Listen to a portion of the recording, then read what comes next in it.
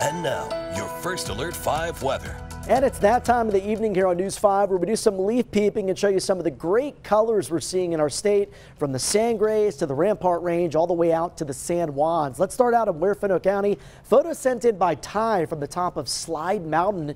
Colors beginning to pop here into southern parts of the state as expected. And as we know, it takes a little bit longer for the southern half of the state to see those colors than what we see for the northern half. That's where the colors start to change a little bit earlier in the season. This right here in Divide, look at all the brilliant yellows and golds mixed with some green. I was up there on Wednesday in that part of Teller County shooting a story, and I got to tell you, it is incredible this year. I think it's better than last year.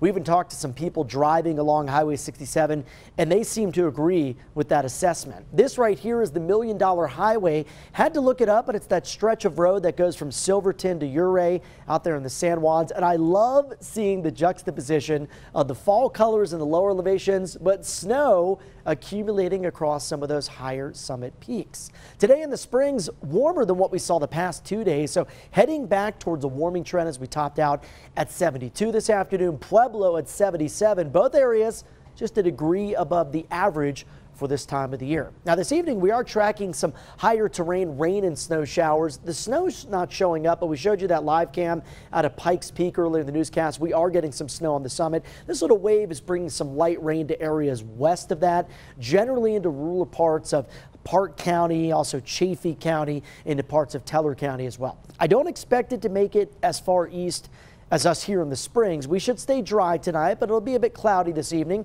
Right now, we're at 67 degrees outside.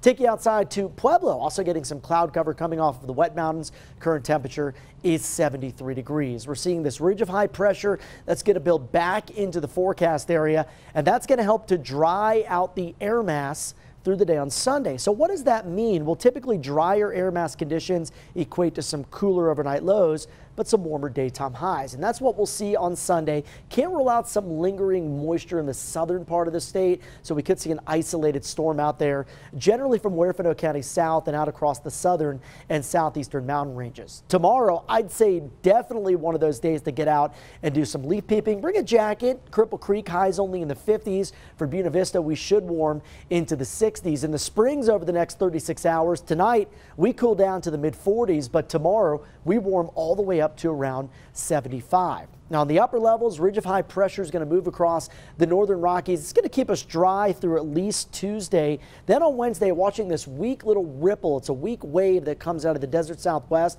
And that's going to move towards Utah and Colorado. I think areas west of the Continental Divide by the middle of the week do have the best chance of seeing rain and snow showers. Lows tonight down to the 30s and 40s. Your highs on Sunday. How about it? Doesn't get much better than this. A mix of 60s, 70s, and 80s, even warmer Monday, and then a touch cooler Tuesday to Wednesday. I mentioned we're watching for rain on Wednesday and show the mostly cloudy icon, but I think this far east we're going to be high, hard pressed to get much in the way of moisture. Similar story in Pueblo, little cooler Wednesday, generally looking at 80s, a few days in the upper 70s but above average temperatures in the forecast over the next seven days. Now, Cañon City out into the upper Arkansas River Valley could see a few storms on Wednesday afternoon. Other than that, it is a dry extended forecast. And for Woodland Park, we start out dry, but in the middle of it on Wednesday again, just an isolated chance of a shower and storm. Also Sunday, possibly a little quick passing PM shower up there in Teller County. Pretty quiet week ahead, though, I'd say, Andy. And Alan, I noticed, you know, it pretty mild for all of the high temperatures on those seven days, but the low temperatures is starting to feel cooler in the evenings, isn't it? it? Yeah, you know, you, you can't forget the jacket now when you head out at night and in the morning. You know, it was so nice to not need it over the summer, but oh, yeah. if you forget it now, you're a little cold. Seasons change, right. that they do. All right, thanks so much, Alan.